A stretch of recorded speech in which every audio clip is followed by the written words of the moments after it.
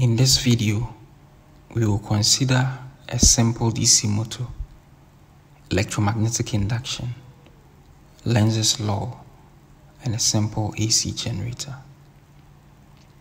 First, the electric motor. The motor is based on the application of the fact that when a current carrying conductor is put in a magnetic field, a force is produced. The DC motor works using the same principle. It consists of a, a, rectangular coil mounted on an axle which can rotate between the poles of a magnet.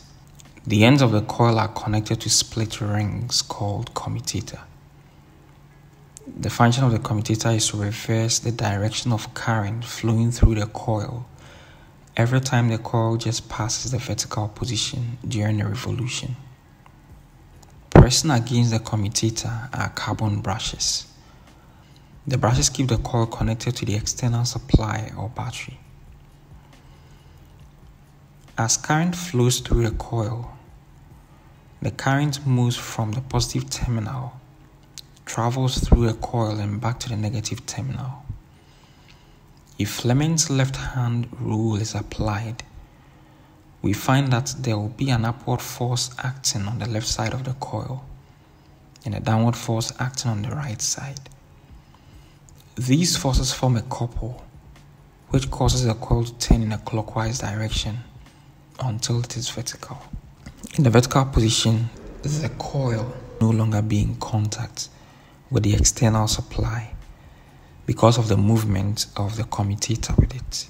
However, because of the residual momentum or the inertia that the coil has, it is able to go past the vertical position until it becomes horizontal again. The commutator half change contact from one brush to the other.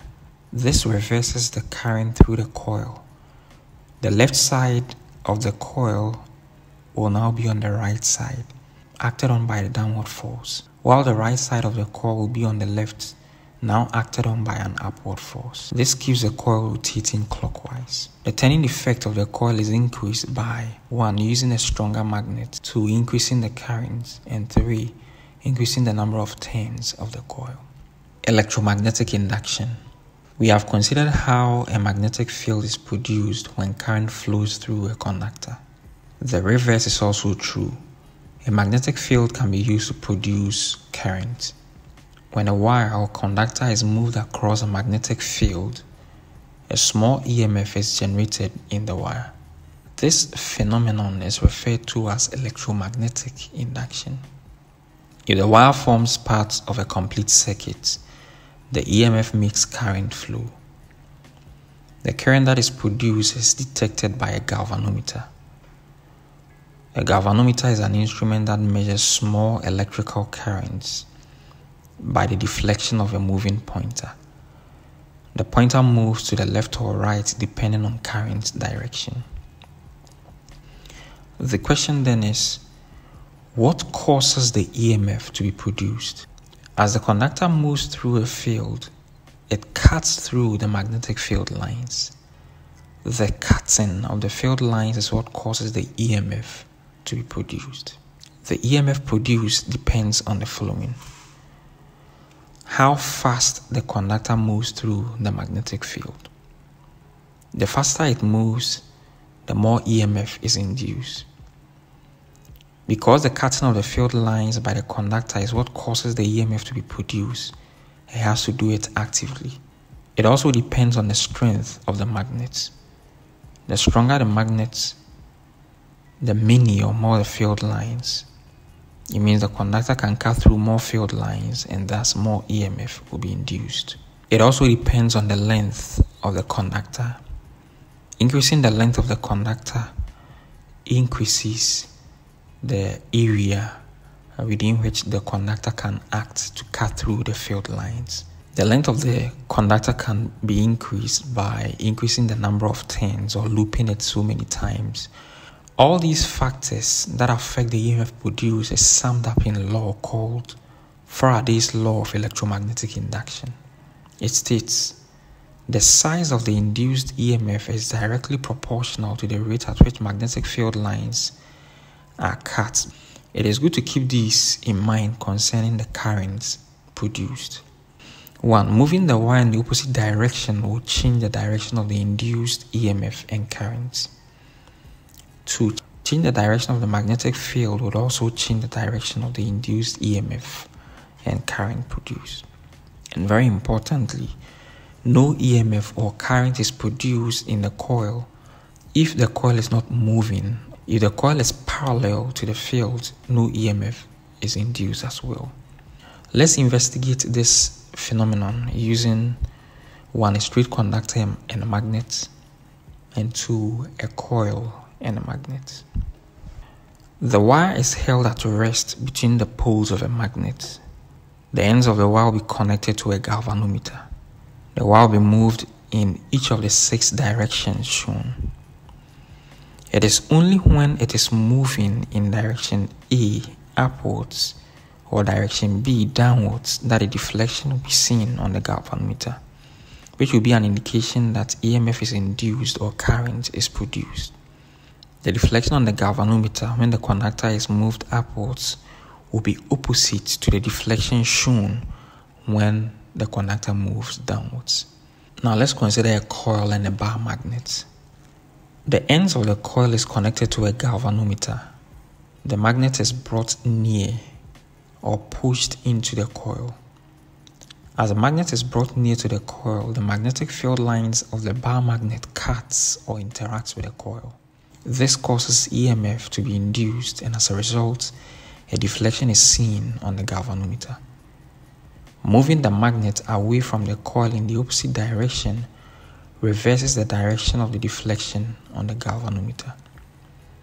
There is no deflection when the magnet is not moving because in that instance the field lines will not be cutting the conductor or coil.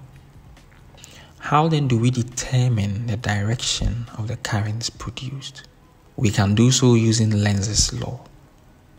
The law states that the direction of the induced current is such as to oppose the change producing it.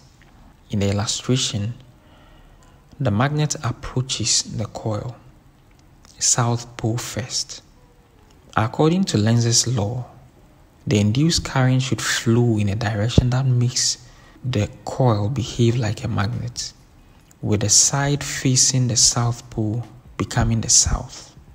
The motion of the magnet will then be opposed since like poles repel. Once we know the side of the coil is the south, we can easily tell the direction of the current. When the magnet is withdrawn, the side of the coil that is close to the south pole becomes the north pole and attracts the south pole of the magnet, in effect opposing the change that produced it, that is the moving away of the magnet as Lenz's law states. The induced current will then be in the opposite direction to that when the magnet was approaching. For a straight conductor or wire moving at right angles to a magnetic field, Fleming's right hand rule can be used to determine the direction of the induced current. It states hold the thumb and first two fingers of the right hand at right angles to each other with the first finger pointing in the direction of the field and the thumb in the direction of motion of the wire. Then the second finger points in the direction of the induced current. Point to keep in mind is that Fleming's left hand rule is used to determine the direction of the force produced. Fleming's right hand rule is used to determine direction of induced current and is applied to generators. A simple AC generator. The generator works using the principle of electromagnetic induction. It consists of a rectangular coil between the poles of a permanent magnet. The ends of the coil are joined to two slip rings. Carbon brushes press against the slip rings. The slip rings are fixed to the coil and rotate with it. The brushes made of carbon rub against the slip rings and keep the coil connected to the outside part of the circuit. When the coil is rotated, it cuts magnetic field lines so an EMF is generated. So it's more like a force is applied to the coil to cause it to rotate. And because field lines are cut, it causes current to flow. In the horizontal position, the sides of the coil make the greatest contact with the field lines. One side cuts vertically downwards as the other side cuts vertically upwards. In the horizontal position, the greatest EMF is induced. In the vertical position, the sides of the coil are moving along the field lines or are parallel to it, and as a result, they do not cut the field lines. The induced EMF is zero.